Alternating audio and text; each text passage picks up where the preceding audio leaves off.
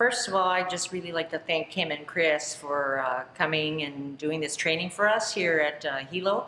Um, I'm so grateful for all the tools they've given us this week, and it's really going to change the way I, uh, I work with my students. Um, in particular, a little add-on or extension called Grammarly.